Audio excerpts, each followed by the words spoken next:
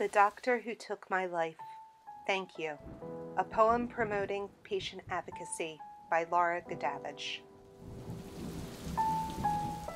I came to you in a time of despair. My body was failing and weakened by fear. To treat the frail and ill, I believed you would be the answer to my desperate plea. You were supposed to be my white knight, a demigod of knowledge, bound by an oath of compassion and a higher purpose. I held you to your promised care. To question you, I did not dare. For who was I to question a superhuman such as you, one with golden credentials, bestowing upon you the right to demand my obedience, as I was privileged just to be in your sight? As you turned from your computer, ready to acknowledge I was there, you directed your terms to my father. In a pompous manner you spoke. Now, sir, do you remember the rules? You asked with a poke.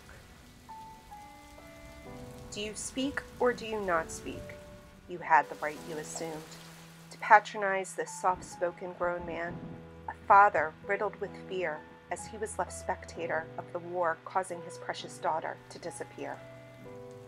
Your lack of human compassion left me dumbfounded and guarded, my trust in miracle workers shaken, and faith irreversibly shattered.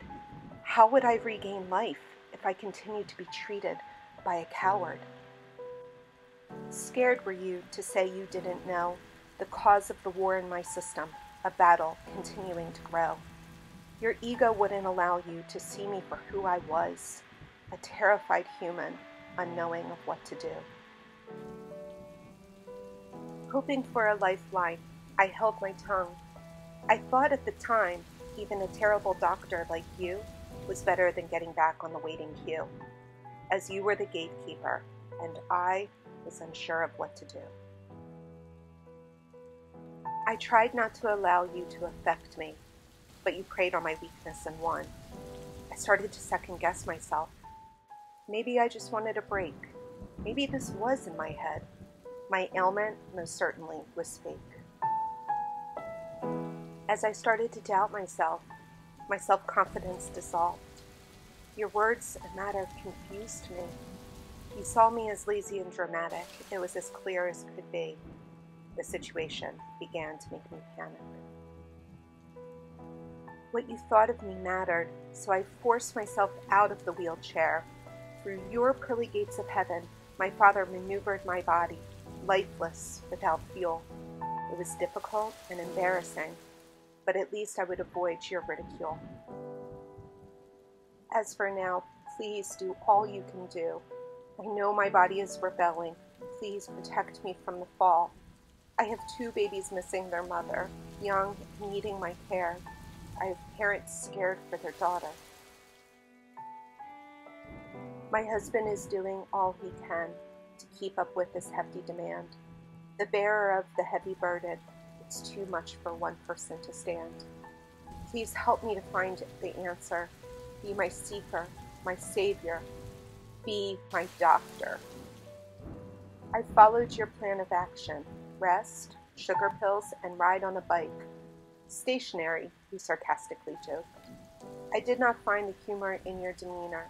I'm not sure if you've noticed I'm withering away but maybe I'll find you funny on a future day.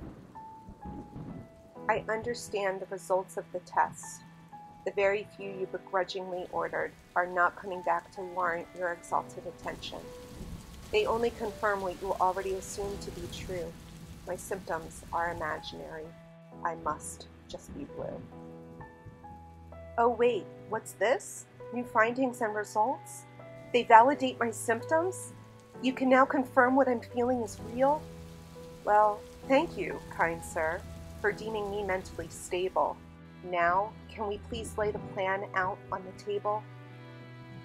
Hold on. I want to make sure I have this right. You still will not help me, but you won't hesitate to take your fee.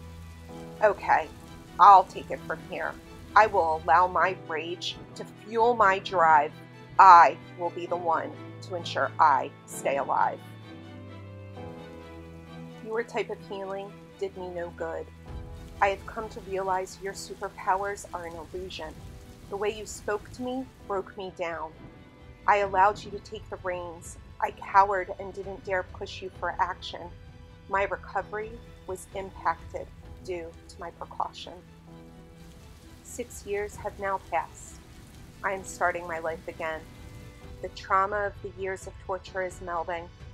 Although I often wonder, had you treated me like a human, would I have had the upper hand? Would I have missed all those birthdays, the milestones and celebrations? Would I have had so many serious complications? Would I lay in bed at night praying my legs will sleep? Would I have had more of my life to keep? Maybe, maybe not. There's no turning back time. All we can do is move forward, just step through the starting line. Each experience is a gift in the form of a lesson. Knowledge and understanding is a very true blessing. You have stoked the fire that burns within, so now I am on a mission to prevent people from being destroyed by false healers such as you. So thank you, Doctor. Thank you. My purpose has been renewed.